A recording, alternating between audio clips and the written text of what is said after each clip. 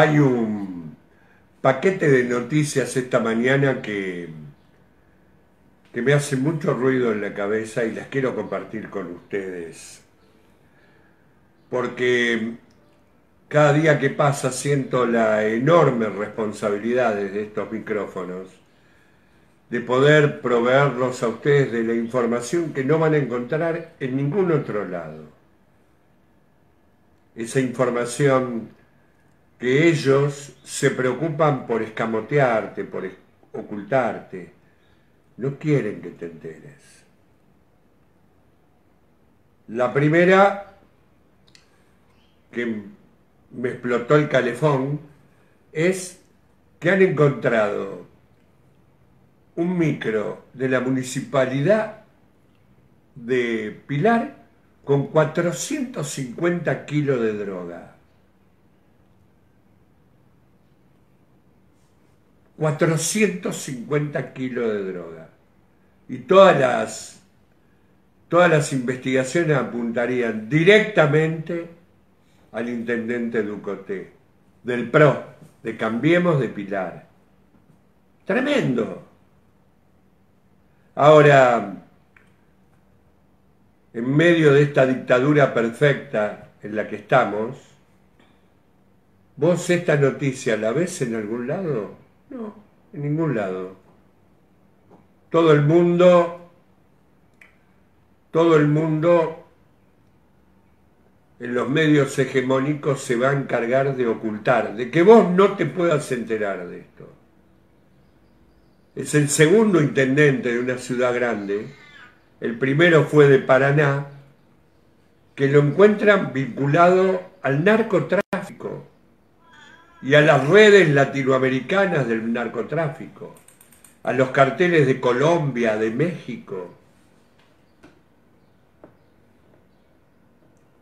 No hay una sola noticia al respecto. Yo te pregunto, ¿qué hubiese pasado si esta, estas cuatro, este cargamento de droga, estos 450 kilos, se lo hayan este, encontrado a Verónica Magario.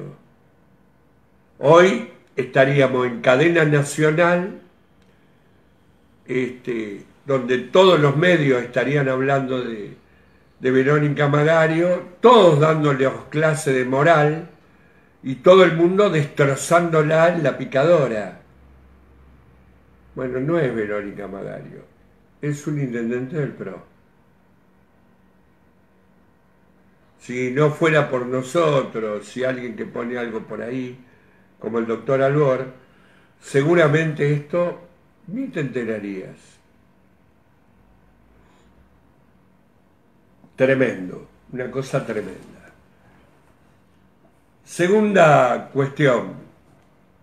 Hoy va a ser recibido por el presidente Putin Ali Belayati, quien fuera canciller de Irán en tiempos de la AMIA, que está imputado por la justicia argentina, que tiene alerta roja, pero parece que el mundo no le cree a las imputaciones que hace la justicia argentina, entre comillas, imputaciones ayer ratificadas por el juez Canicoba Corral, que vuelve a pedir hoy que en Rusia, Ali Belayati, ex canciller iraní, ex rector de la Universidad de Teherán, sea detenido en momentos que va a entrevistarse con el presidente Putin.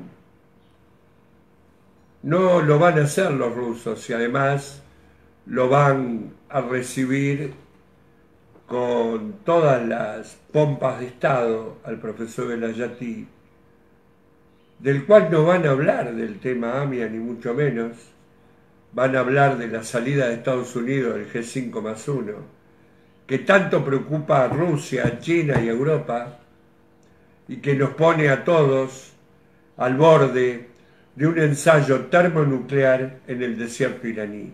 Van a hablar de temas en serio. Enorme papelón de la justicia argentina.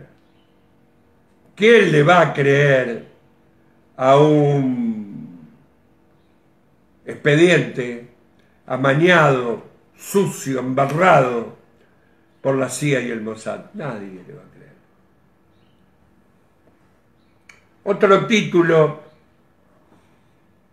que ocupa buena parte de los diarios, la tapa del diario La Nación, complica a la Argentina el fallo por la estatización de IPF en Estados Unidos.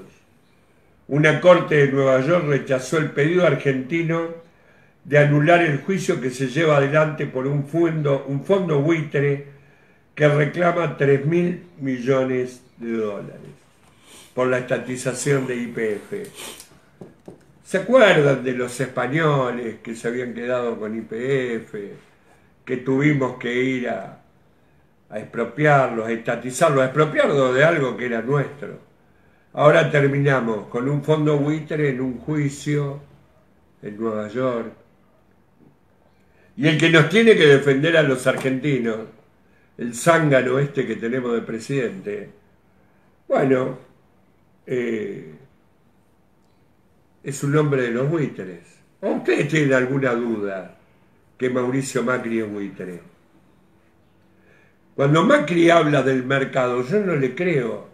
¿Saben por qué? Porque el mercado es él, él y todos sus amigos, que están de los dos lados del mostrador y que a la hora de defender los genuinos intereses nacionales, estratégicos, como la petrolera estatal, no tengo duda que va a actuar entregando el patrimonio a los buitres, como ha hecho en todas y cada una de las cosas que tiene que hacer. Pero no hay que llorar ni sobre la leche derramada, ni echarle la culpa a Macri. La culpa es nuestra. Mientras él esté ahí, la culpa es nuestra. De todos nosotros.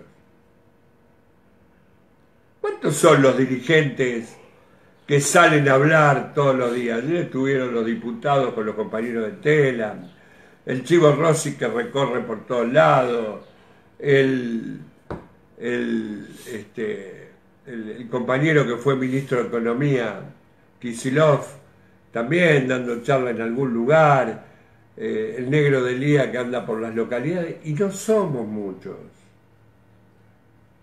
Hay que organizar plenario, debate, en las esquinas, en los locales, en los centros culturales, en los locales políticos, invitar a los dirigentes, tenemos todos que salir a hablar con el pueblo, a organizar la resistencia. Este tipo no puede seguir un día más. Hay que hacer firmar el petitorio, hay que juntar dos o tres millones de, millones de firmas, que el Fondo Monetario se entere que hay 3 millones de firmas pidiendo la destitución del tipo con el cual ellos hacen acuerdos. Que se enteren las naciones del mundo.